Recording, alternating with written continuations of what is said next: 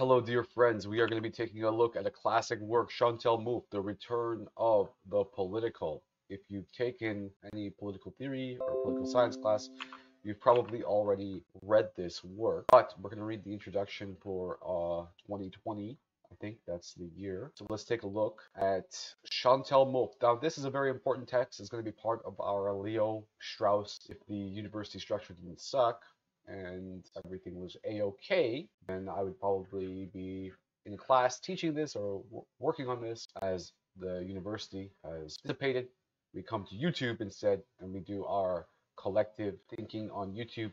Everybody else is making videos about TikTok and dancing and everything, and I have to make a series on Leo Strauss for some reason. Everybody's having so much fun, and here we are doing the hard work of figuring out why everything sucks in our age. So let's take a look. Not long ago, introduction for an agonistic pluralism. The trick is not to fool oneself about certain things, small rocky islands in the sea of self-deception. Clutching them and not drowning is the utmost that human beings achieve. Not long ago, we were being told to the accompaniment of much fanfare that liberal democracy had won and that history had ended.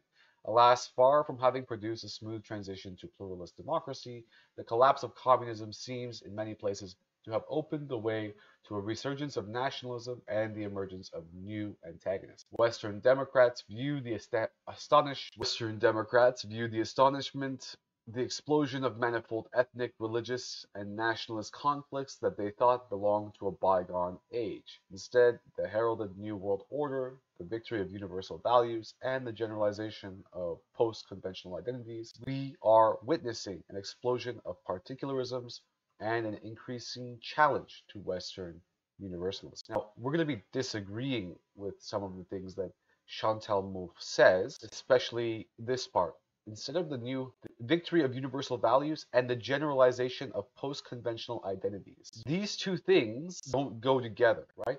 Raymond Geuss is really important here. Raymond Geuss says that there's a concom concomitance of various concepts, freedom, democracy, all these things within the liberal framework that just do not go together. And the one that's important for us here, the generalization of post-conventional identities, what I would call on my channel neoliberal subjectivity, because yes, we are free to create our own subjectivities in our modern world, but most of the time, those creations end up being recreations of past and cost benefit analysis. So we end up re recapitulating, right? Re recreating those hierarchical structures even within our supposed ability to create our own identities or have post-conventional identities as they say here or to create ourselves all of these live laugh pray in india was that long pray eat pray love in india as much as we could do that those identities still end up reproducing old ideas of hi old hierarchies, and uh, that's one of the things that we try to point to. And remember, one another thing that in my Leo Strauss series is going to be important, and we talked about this with Parens, was how jo uh, Joshua Parens, the last work, was how there is this push to say that there is no, for example, holy family, there is no holy public sphere. If you look at the idea of Seyla Benhabib, there is no holy public sphere as Hannah Arendt and Leo Strauss like to uphold. On the other hand, the real, so the idea is that there is no holy space, but the real idea that is a problem here is the idea that there is a valid distinction between the sec secular and the sacred. That is that distinction between that there is no valid distinction between secular and sacred comes before the idea that there is no valid distinction between the market and the social or the public sphere or that everything is comes down to a market logic. I hope that was made clear.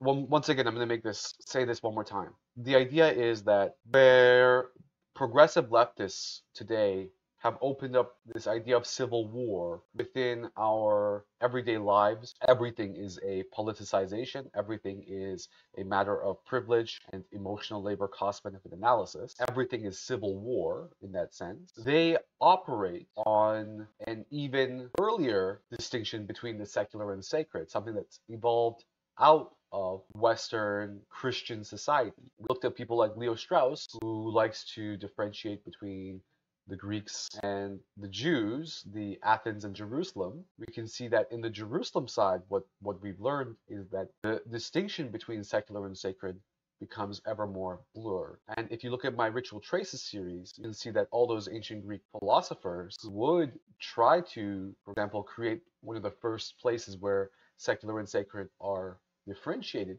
even before Jesus, even they would participate in these benign rituals like cutting up a pigeon to see if you would win a battle, those kinds of rituals were just unquestioned, even though Socrates would question everything. Taken by surprise by such a convincing refutation of their optimistic forecasts, many liberals have reacted by evoking the deferred effects of totalitarianism or a new upsurge of the archaic. They respond that, see, these are basically civilizers. The liberals are the people who are trying to civilize the world. They've always been trying to do that through colonialism, etc. They respond as if it represented only a temporary delay on the road that necessarily leads to the universalization of liberal democracy. Now, I can come up with a much stronger argument for liberalism than Mouffe does here. Again, we live in a time where we don't do the grace of, even though I disagree obviously with that liberalism, I could at least make a better argument than this. A short parenthesis before rationality reimposes its order, or a last desperate, desperate cry of the political before it's definitively destroyed by the forces of law and universal reason, or rather the forces of the market. So the much stronger argument here, taken over by law and universal reason, it's taken over by market. And that's the difference between neoliberalism and liberalism. So what people, and because it is true that neoliberal market universal reason, not necessarily the forces of law, but rather the forces of neoliberal law, uh, that system, it is in fact true that it is taking over the world. And it is a revolt against a neoliberal order that is winning, more or less. And instead of that power being used by leftists in a revolutionary fashion, it's being repressed because the revolutionary movement focuses instead on what the materialists and non-materialists are fighting over about. I think it's a mute argument about whether materialism is more important or, or, or idealism is more important. I don't think it really matters. I think it's a chicken and egg argument. But right now, the stupid pole camp is harkening down onto materialism as if that's going to save. Doesn't really matter for me. I think that the cultural see the distinction here shouldn't be between cultural Marxists. The distinction should be between cultural Marxists and the communists, and between the critical race theory people, the intersectionality people, the feminism allied to market forces. That should be the distinction, not the distinction between cultural Marxism. When people say like cultural Marxism, oh, you're using that term, you must not be educated.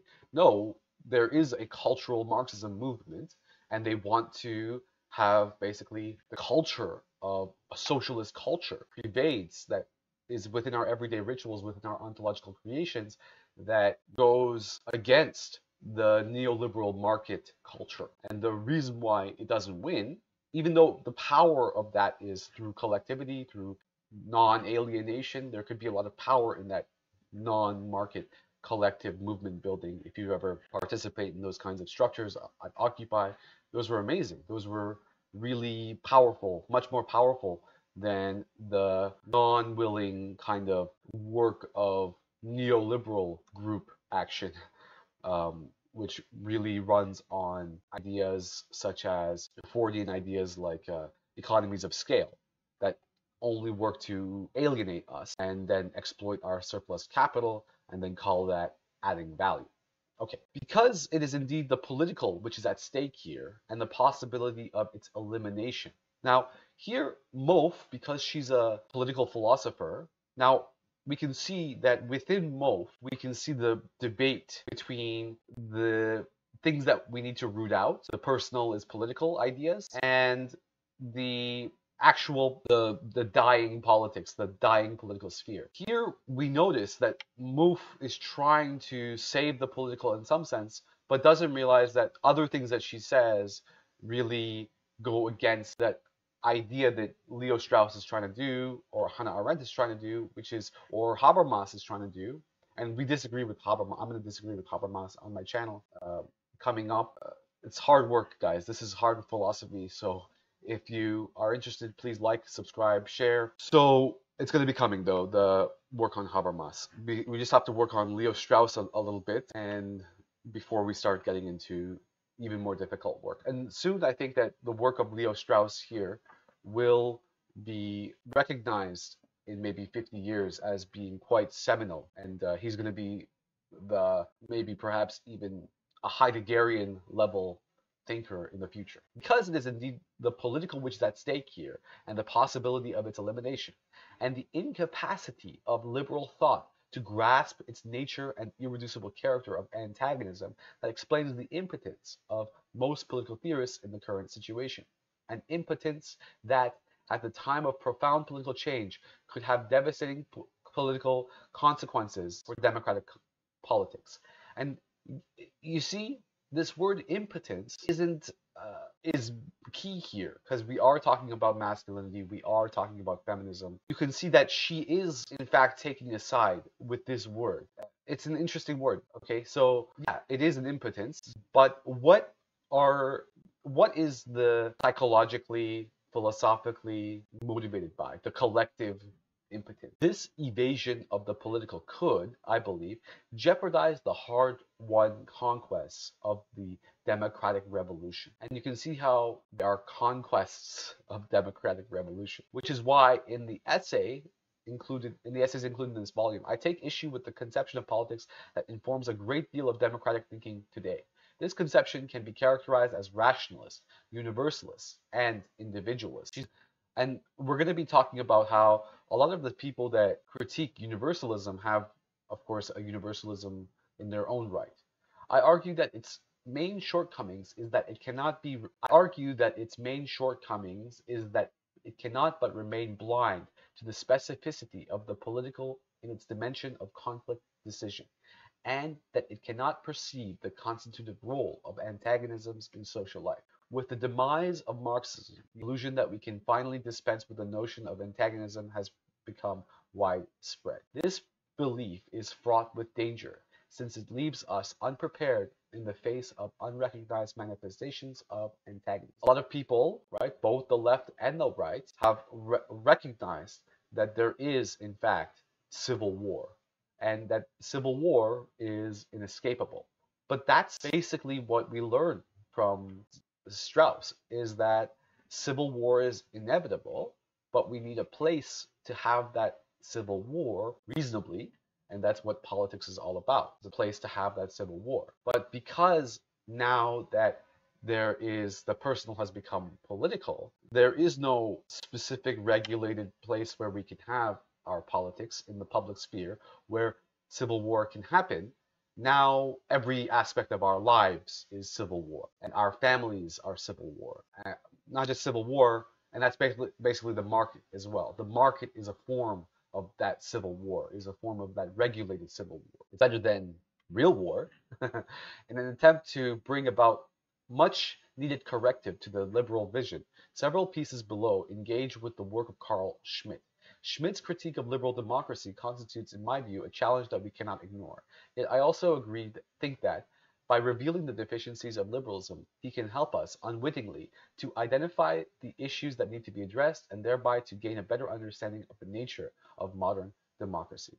So you can see that with this engagement with Nazis like Schmitt, she is going against one of the ideas of current current ideas that believe that civil war is inevitable, which is that we shouldn't read people that we disagree with. And that's happening on both sides. Both sides are burning books and then calling the other side as the book burners. My objective is to think that Schmitt against Schmitt and to use his insights in order to strengthen liberal democracy against his critiques. Most likely going to be Strauss against against Schmitt. By drawing our attention to the centrality of the friend-enemy relations in politics, Schmitt makes us aware of the dimension of the political that is linked to the existence of the element of hostility among human beings. That's exactly it, right? That's what the politics is about. This can make This can take many forms and manifest itself in very different types of social relations. This is an important idea, which I have tried to reformulate within the framework of the contemporary critique of essentialism that I take to constitute the most fruitful theoretical approach to pluralist democracy. Wonderful. But again, so we can see that she has an understanding of why things are the way they are, but she still goes back and forth and she's not as radical as me in terms of really sussing out what is it that brought us to point in which politicization is everywhere. When we accept the very identity, when we accept that every identity is a, when we accept that every identity is relational and that the condition of existence of every identity is the affirmation of the difference, the determination of an other that is going to play the role of a constitutive outside, it is possible to understand how antagonisms arise. That's a very amazing shorthand destruction of essentialism. So we're going to read it again. When we accept that every identity is relational and the condition of existence of every identity is the affirmation of a different, the determination of an other that is going to play the role of a constitutive outside, it is possible to understand how antagonisms arise. In the domain of collective identification, where that where what is in question is the creation of a we by the delimitation of a them, the possibility always exists that this we them relation will turn into a relation of friend enemy type. In other words, tribalism. In other words, it can also become political in Schmitt's understanding of the term. This can happen when the other, who was until the, then considered only under the mode of difference, begins to perceive as begins to be begins to be perceived as negating our identity. This can happen when the other, who was until then considered only under the mode of a difference, begins to be perceived as negating our identity, as putting in question our very existence. From that moment onwards, any type of we them relation be it religious, ethnic, national, economic, or other, becomes a site of political antagonism. As a consequence, the political cannot be restricted to a certain type of institution or envisaged as constituting a specific sphere or level of society. Must be conceived as a dimension that is inherent to every human society and that determines our ontological condition. Here is very interesting because we're going to go further and we're going to talk about what Philip von Wassau calls the theopolitics of culture. It's theopolitics, so that politics, and again, we go back, the secular and the sacred, there is no separation between church and state. All of our laws are based on Christian ideals of inherent human worth and all these kinds of things. It's all Christian. So a couple years ago, the whole atheist movement that came around, it's ridiculous actually, because not only have we had Kant, you know, there's a kind of religiosity within our ontology. Not only have we had Spinoza, who also has his own kind of religiosity, even though he tries to, he's the closest to get to secularity, I think, possible through Spinoza. Even with the Christian atheism of Zizek, right? Even through that, we need the fragmentation of the absolute, which means that there was some sort of ontological religious sphere, right? Now, we have to also keep in mind Derrida's question here of using the word religion as a kind of universalism, what he calls a Latinization of the world, where we look at, so this is why I don't look at religion in fact, I would look at ritual. I say it as ritual as being my universal because I, I think that it's, it's less narrativistic. Ritual becomes even, it's more gesturific, but there is this ontological condition that is created from our rituals, and one of those strains is connected to politics in a very intimate manner. And we can look at the work of Agamben, who is studying oikonomia, oikonomia is the economic considerations of theology is oikonomia. The economic considerations of theology goes really is really old, and those economic con conditions of theology is basically is why in Islam, for example, there is no separation of church and state. In many type of religions, there is no separation of church and state, and this, I think, in the Christian world, is a lie.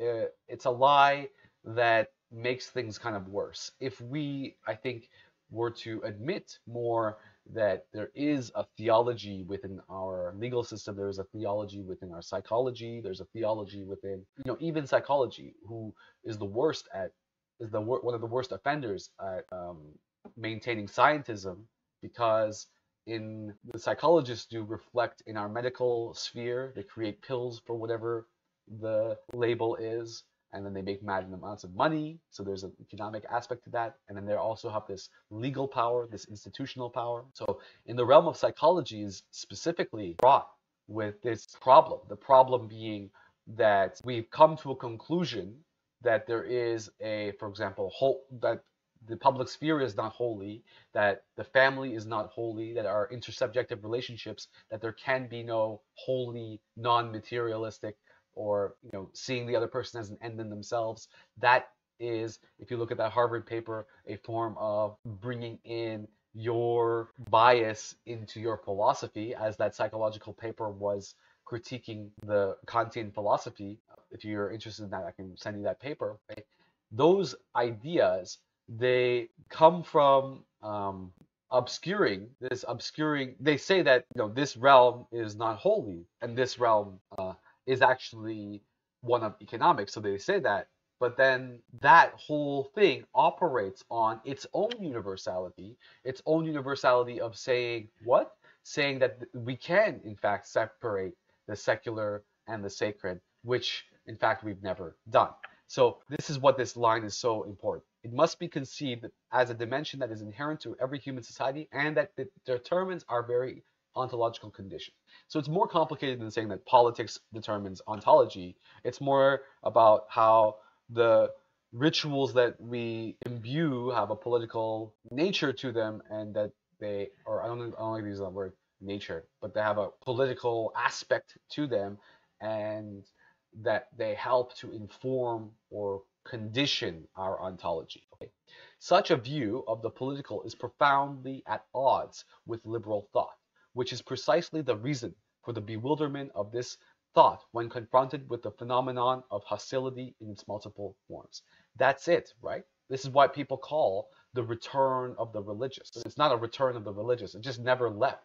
We just fooled ourselves into thinking that we are escaping theological thinking when in fact we're not. So every everyone, all of these atheists who have haven't done the hard work right, of actual atheism, uh, they they wouldn't realize that to get to actual atheism is almost more or less an impossibility because we are so stewed in various ontotheologies and various ideologies. It's almost impossible to get to that state of fragmented absolutes. This is particularly evident in its incomprehension of political movements, which are seen as expressions of the so-called masses. Since they cannot be apprehended to individualistic terms, these movements are usually regulated to the pathological or deemed to be the expressions of irrational forces.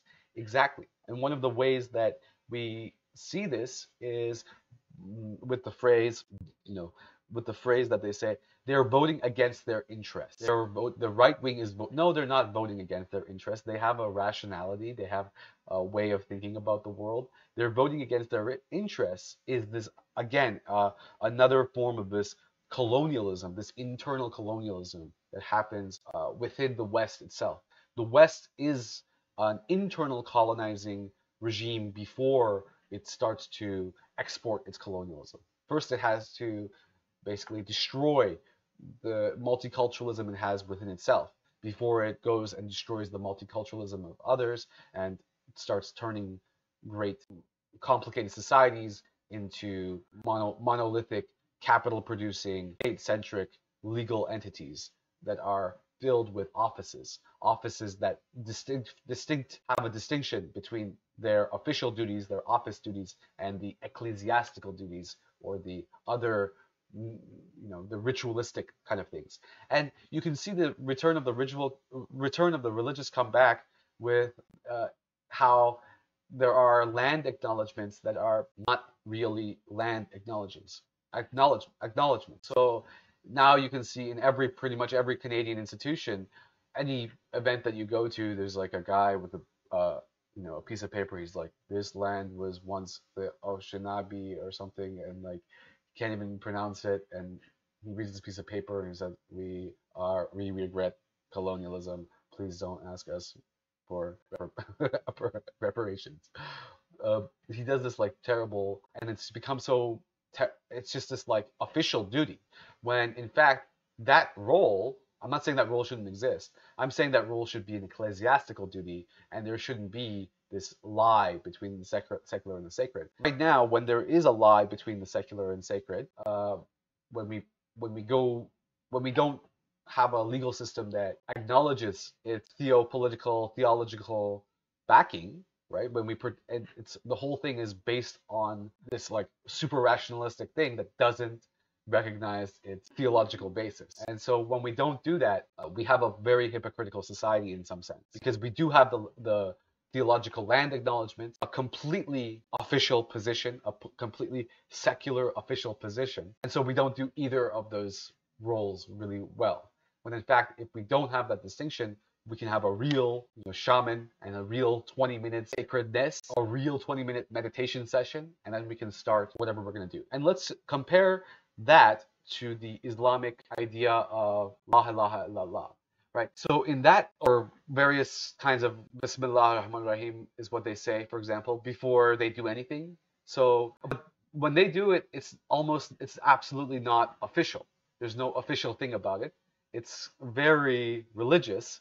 And the, I guess the problem there becomes, uh, it's a very similar problem in that it becomes very performative. So in that sense, you have a lot of these like, you see this video of like uh, Syrian, uh, Iranian soldiers in Syria who I saw this video of this Iranian soldier in Syria who's like washing himself in a bucket and he's singing the song. And then once he notices the camera, he, he switches the song into a super Islamic song. Or and the same thing actually happened recently with uh, regards to a mullah.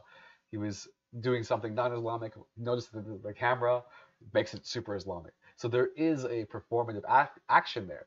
But there is also you can see that the, there is no lie between that there is no secular in in the sacred. So when he is doing that really Islamic song, he's still doing like a spiritual Sufi song.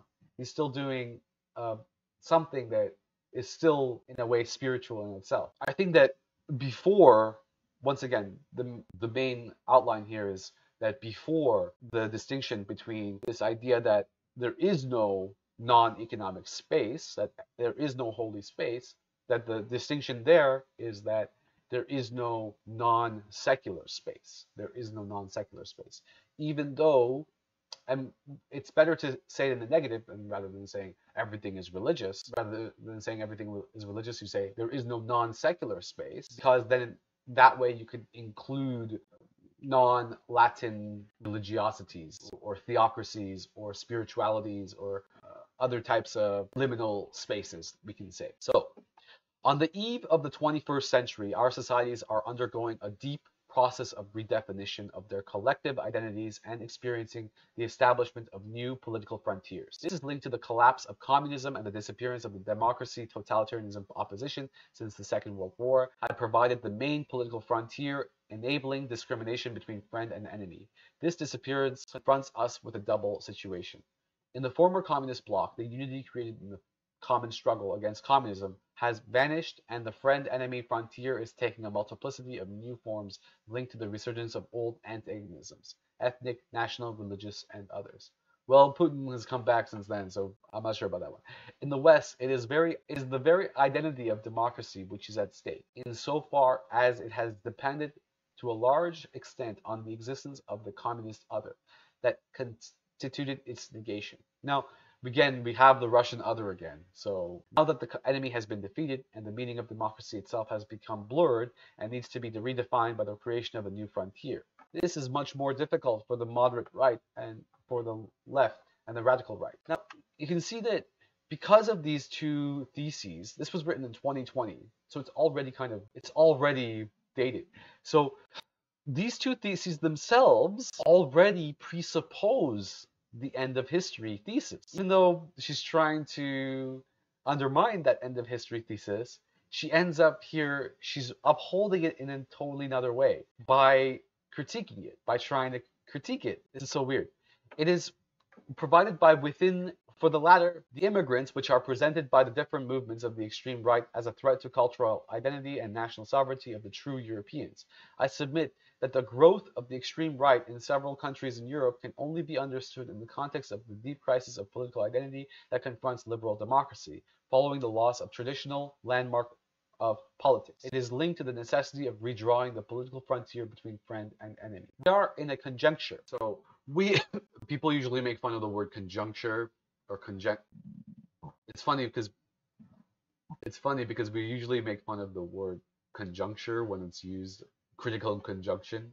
You know, we are in a conjuncture when in the capacity of liberalism to apprehend the political. So it's funny because people usually make fun of the word conjuncture, like critical conjuncture, conjunction, when talking about or creating a paper. But she uses the word here. We are in a conjuncture where the incapacity of liberalism to apprehend the political could have very serious consequences. All those who believe that the fall of communism would necessarily be followed by the establishment of pluralist democracy and the destruction of the old antagonists could only herald a great advance for democracy are quite unable to understand that specificity of the new situation. For that reason, it is vital that we abandon a theoretical perspective that prevents us coming to terms with the nature of the tasks before us. Once we accept the necessity of the political and the impossibility of a world without antagonism, what needs to be envisioned is how to possible under how to how it is possible un what needs to be envisioned is how it is possible under those conditions to create and maintain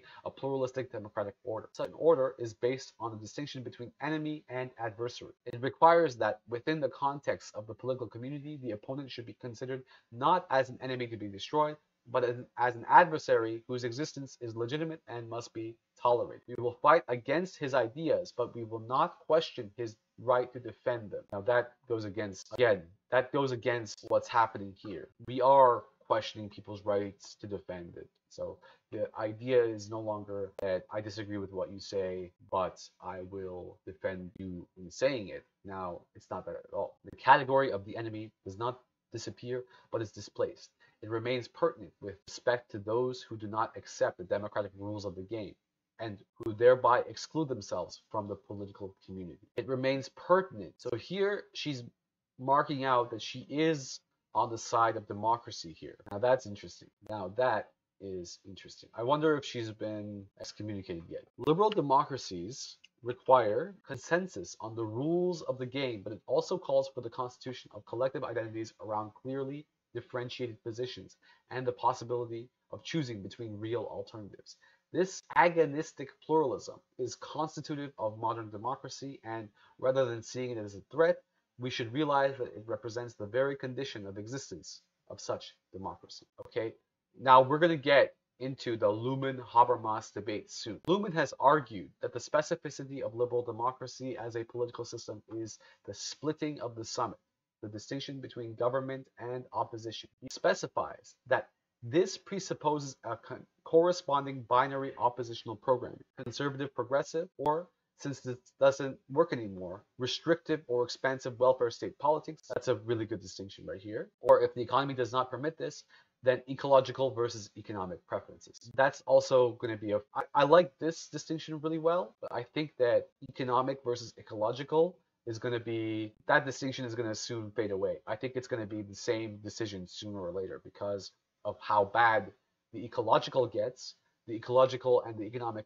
aren't even going to be aren't even going to be at, a, at opposition any any longer. It's going to be, and I I know this because um, I run these games with my classes where they do basically this game where they can choose between their own individual nations. So they're all in different nations, and then they have to compete in the world economy. But there's also global warming, and they all have to compete to become the most successful nation, but they have to balance out their individual nation interests versus the world ecological interest. And you can see that those two things, the world economic interests and the ecological interests, sooner or later in the long run, not in my games, but in the long run, in my hypothesis, is that those two things are going to become more and more the same. Like when you have to invade a land because they have freshwater resources and you don't have a freshwater resources, that's going to be an economic decision. That's an economic decision.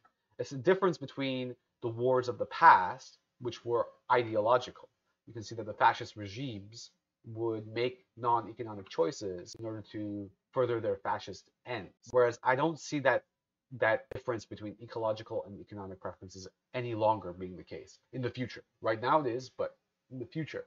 Only in this way can possible directions of the political course be put to choice. This means that the current blurring of political frontiers between left and right is harmful for democratic politics as it impedes constitution of distinct political identities. This in turn fosters disaffection towards political parties and discourages participation in the political process. Hence, the growth of other collective identities around religious, nationalist, or ethnic forms of identification. This conforms, confirms, as Schmitt has pointed out, the antagonisms can take many forms, and it is illusory to believe that they could ever be eliminated. Now, who does do that is this idea of intersectionality, right? That does this as well. That on the one hand, the left is presuming that that civil war exists everywhere, and on the other hand, there is also presumption that there is intersectional unity within the left as well, and that those eliminate those those antagonisms have been eliminated on the internal aspect as well. But it hasn't been eliminated, it's just been silent. In those circumstances, it is preferable to give them a political outlet within a pluralistic democratic system. The great strength of liberal democracy, pace Schmitt, is precisely that it provides the institutions that, if properly understood, can shape the element of hostility in a way that diffuses its potential. Indeed, as Elias Canetti shows in Crowds and Power, the parliamentary system exploits the psychological structure of struggling armies and should be conceived as a struggle in which the contending parties renouncing the killing of each other and accept the verdict of the majority on who has won. According to him, the actual vote is decisive as the moment in which the one is really measured against the other. It is all that is left of the original lethal clash. It is played out in many forms, with threats, abuse, and physical provocation, which may lead to blows or missiles. But the counting of the vote ends. We have to notice one more thing here is that the only people worth again the only people worth listening to in this situation are those willing to put their lives on the line those who are willing to put their lives on the line should have this possibility of participating in the public sphere what do we have in politics today nobody wants to put their life on the line who wants to defend our democracy in a kind of reawakening of a democratic potential Ukraine, or at least that's what some of the popular media would like us to think. Of course, most of us have been too, in the West at least, most of us have been too disaffected to actually vote. The counting of the vote ends the battle. If we accept such a view, it follows that parties can play an important role in giving expression to social division and the conflict of wills. But if they fail in their job, conflicts will assume other guises and it will be more difficult to manage them democratically. So this is again, this is a complete refutation of this idea of the personal as being political.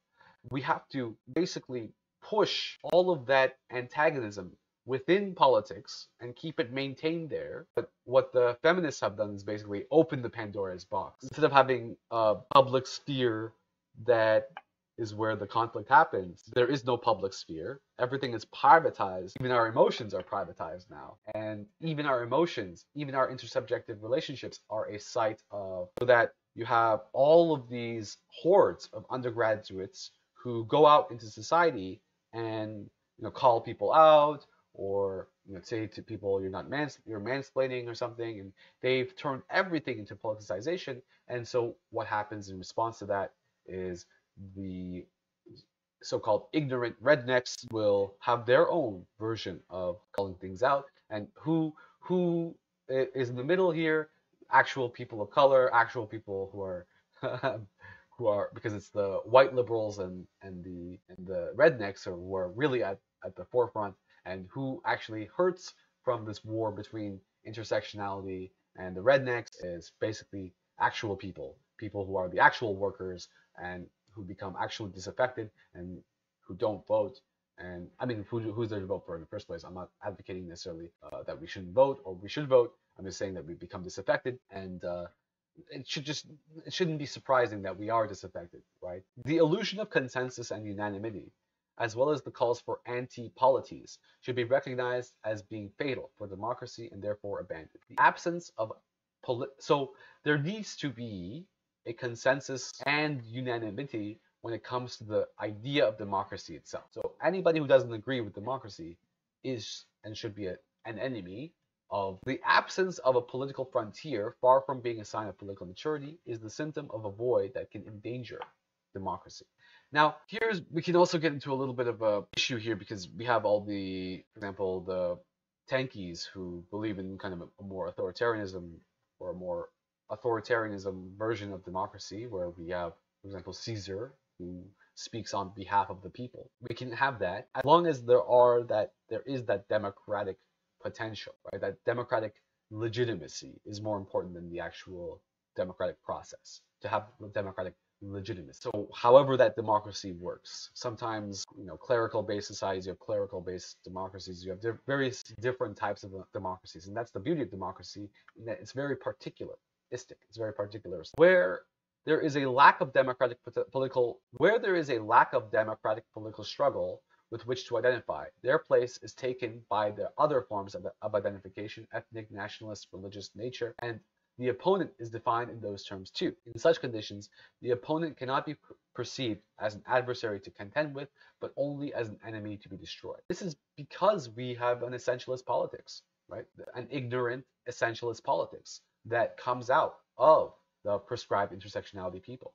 And the reason why I point to the prescribed intersectionality people rather than the rednecks is because these people are supposedly educated and they're absolutely not. It's just a lack of thoughtfulness when it comes to how all of these anti-racist ideas, anti-sexist ideas are being pervaded, are being pervaded.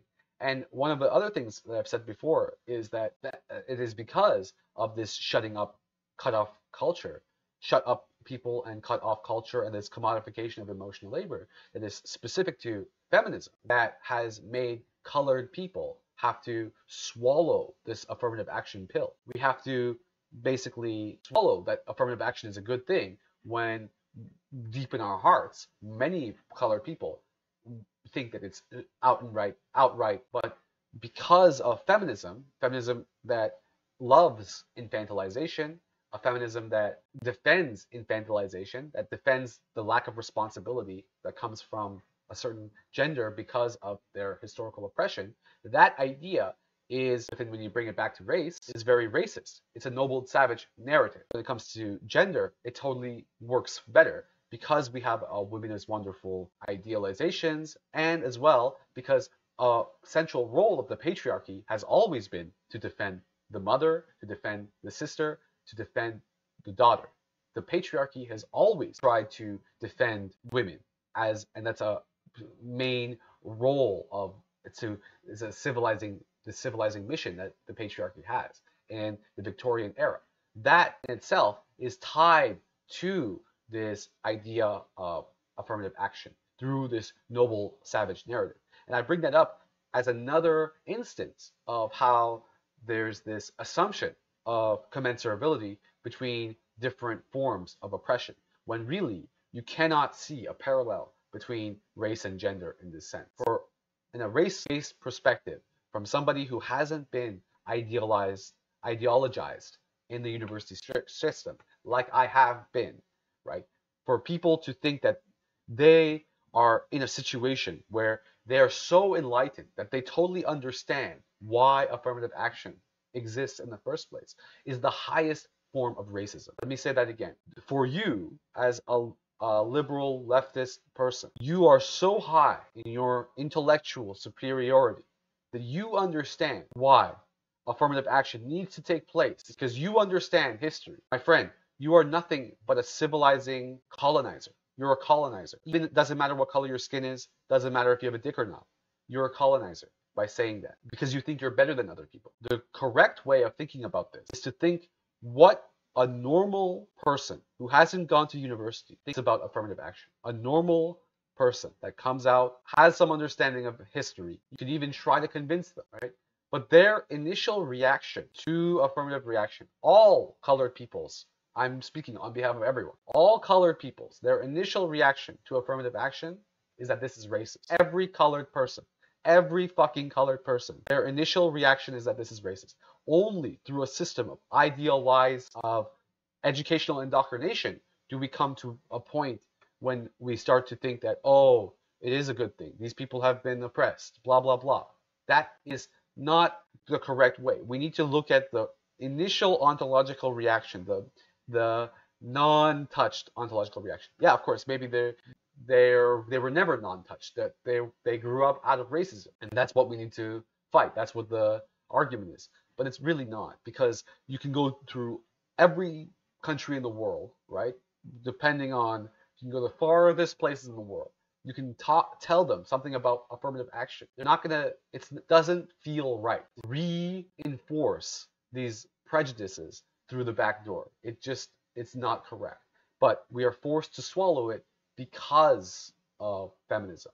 Because feminism loves infantilization, because the patriarchy creates a system where women are wonderful, where we have to defend women at all costs. The patriarchy is that, and it's a continuation. Feminism is a continuation of patriarchy in many respects. That's just one of the respects. To acknowledge that the state of nature in its Hobbesian dimension can never be completely eradicated, but only controlled, throws a different light on the status of democracy. Far from being necessary, far from being the necessary result of a moral evolution of humankind, democracy is something uncertain, improbable, and must never be taken for granted. Here we can call it more aporia rather than democracy. It is an always it is always an, a fragile conquest that needs to be defended as well as deepened. There is no threshold of democracy that once reached will guarantee its continued existence democracy is in peril not only when there is insufficient consensus and allegiance to its values, but also when its agonistic, but also when its agonistic dynamic is hindered by an apparent excess of consensus, which usually masks a disquieting apathy. It is also endangered by the growing marginalization of entire groups whose status as an underclass practically puts them outside the political community. More and more people are getting pushed out of the polis. And when more and more people get pushed out of the polis, there is an uncontrolled civil war in the outside of the political sphere. When, as is the case today, liberal democracy is increasingly identified with actually existing liberal democratic capitalism, and its political dimension is restricted to the rule of law, there is a risk that the excluded may join fundamentalist movements or become attracted to anti-liberal populist forms of democracy. A healthy democratic process calls for a vibrant clash of political positions and an open conflict of interest. Such is missing. It can too easily be replaced by a confrontation between non-negotiable moral values and essentialist identities, which is basically the situation we're in now. Nowadays, the crucial issue is how to establish a new political frontier capable of giving a real impulse to democracy. I believe that this requires redefining the left as a horizon where the many different struggles against subordination could find a space of inscription. The notion of a radical democratic citizenship is crucial here because it could provide a form of identification that enables the establishment of a common political identity among diverse democratic struggles. There are currently many attempts on the left to recover this idea of citizenship, but I argue in several pieces below, it is important not to aim at a neutral conception of citizenship applicable to all members of the political community. Very interesting argument here. We're going to be analyzing that argument. This is why, while being attentive to its critique of liberal individualism, I am weary of many aspects of community approaches. Its rejection of pluralism and defense of a substantive idea of the common good represents, in my view, another way of evading the ineluctability of antagonism. Wonderful. Now, here we get to the weeds. This is very, very interesting. And we're going to be picking up on these questions because there's going to be several books that we're going to be going through. And at the end, we're going to be coming to some conclusions. There will always be competing interpretations of the political principles of liberal democracy, and the meanings of liberty and equality will never cease to be contested. Citizenship is vital for democratic politics, but a modern democratic theory must make room for competing conceptions of our identities as citizens. Without essentializing, it's going to be difficult to do them from different angles. The essays collected here all seek to develop various aspects of the project of radical plural democracy, but put forward in the hegemony and socialist strategy. In stressing the centrality of the idea of pluralism of on modern democracy, I recognize the latter step to the liberal tradition. One of the main theses, theses, though, is that in order to develop fully the potentialities of the liberal ideals of individual freedom and personal autonomy, we need to disassociate them from other discourses to which they have been articulated and to rescue political liberalism from its association with economic liberalism. Now, here we have, here, here's the, I mean, here we find another attempt to, this is going to be, this, this point is a big problem, okay? And here we have another attempt at trying to do these backward flips to try to maintain certain ideas but not others. I argue that in order to radicalize the idea of pluralism so as to make it a vehicle for deepening the democratic revolution, we have to break with rationalism, individualism, and universalism. Only on the condition it will be possible to apprehend the multiplicity. Only on that condition will it be possible to apprehend the multiplicity of forms of subordination that exists in social relations and to provide a framework for the articulation of the different democratic struggles around gender, race, class, sexuality, and other. This does not imply the rejection of any rationality, individuality, or universality, but affirms that they are necessarily plural, discursively constructed, and entangled with power relations. And here's the big problem. The big problem is that she just repeats popular idioms of our time. It means acknowledging the existence of the political and its complexity, the dimension of the we, the construction of the friend side, as well as the dimension of them, the constitutive aspect of antagonism. This is why such pluralism must also be distinguished from the postmodern conception of the fragmentation of the social, which refuses to grant the fragments any kind of relational identity. Okay, so again, more trying to keep some of this crap while not having the crap smell touch other crap. The perspective I maintain consistently rejects any kind of essentialism, either of the totality or the elements, and affirms that neither of the totality nor the fragments possess any kind of fixed identity prior to the contingent and pragmatic forms of their articulation. That's a difficult argument to make, and I don't think Mouffe can do that. I don't think Kant can do that because it does not. I mean, that's basically the question of subjectivity uh, that they're trying to question. That that's basically the question of subjectivity that they've been trying to have for the last how many years?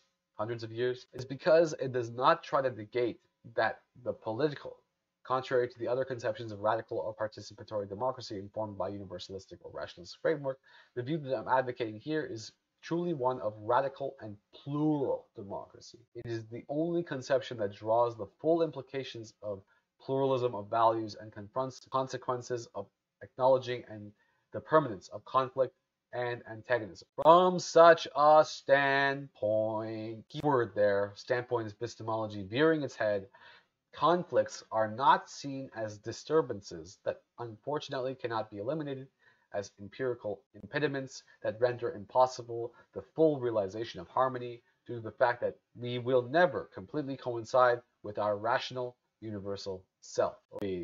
For a radical and plural democracy, the belief that a final resolution of conflicts is eventually possible, even if envisioned as an asymptomatic approach to the regulative ideal of a free and unconstrained communication, is, as in Habermas, far from providing the necessary horizon of the democratic project. It's something that puts it at risk. Okay, that's a terrible critique of Habermas, and this is not a very good critique of Habermas, and it's coming from standpoint epistemology perspective. Okay, so we are going to be critiquing Habermas ourselves, and we're going to be critiquing this perspective as well. Central to this approach is the awareness that a pluralist democracy contains a paradox. At the very moment of its realization would see its disintegration. It should be conceived as good that only exists so long as it cannot be reached. Such a democracy will therefore be a democracy to come, as conflict and antagonisms are at the very same time its condition of possibility and the condition of impossibility of its full realization. Sounds like Derrida here.